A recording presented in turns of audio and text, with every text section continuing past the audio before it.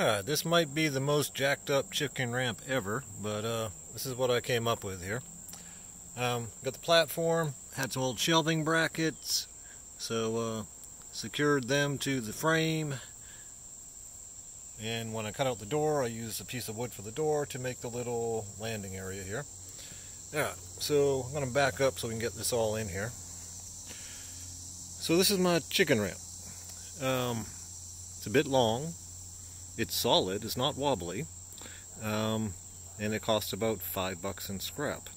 Um, this part here, very solid. We got a center support here with a piece of scrap, uh, 2x4, um, centered upon a piece that came out of my hole saw bit when I cut the hole saws. I cut some holes. Um, wasn't sure if this was going to be too steep for the chickens, so let me jump over here.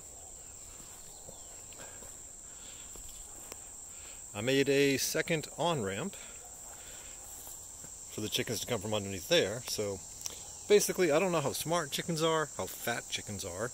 And in my mind, this is kind of like when you uh, do one of them city construction games and all the cars like go off the end, the bridge that you haven't finished yet. So we're, I guess we'll see if uh, they're smarter than uh, Sim City vehicles.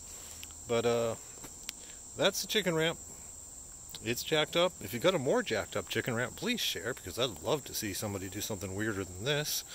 And uh, this weekend we'll see if the chickens can figure it out. Y'all have a good one.